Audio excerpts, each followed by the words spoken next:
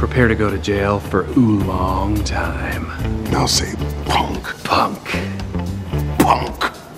I said it.